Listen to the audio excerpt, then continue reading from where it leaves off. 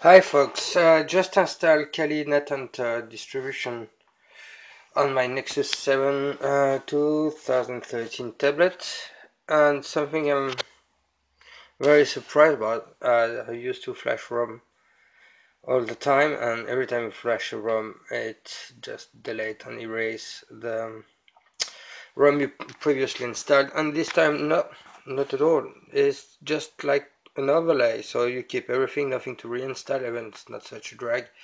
But still that's the point I wanted to, to tell um, that's great. So because all my shortcuts uh, food on the navigation bar the Kali launcher was found in um, in the classic app section.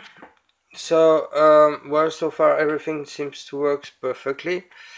Um, you can launch uh, shell terminal you can also uh, launch the Kali menu with all the classic uh, section of the different tools.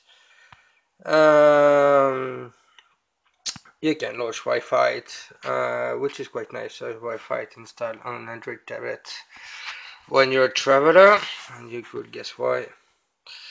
And so far everything seems to work perfectly and well guys this is just a great job and offers a lot of opportunities no doubts about that. Something you have to think about is when you install it. I think it's said in the post installation task that you have to do is uh, the hacker's keyboard and don't ask me what what it's what it's for. You know what it's for and so you can enable the keyboards and hackers keyboards. Well this is just amazing to have the Kali distribution right in your hand in tablet. You can also have it on Nexus 5 if you have Nexus 5 unfortunately. I own um, Xperia Z2 so I will be stuck with my Nexus 7 tablet but on the other hand it's it's much uh, it's more handy to type on a bigger screen.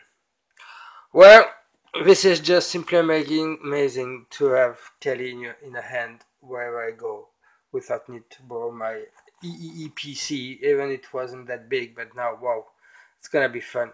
Thank you guys, this is a great job.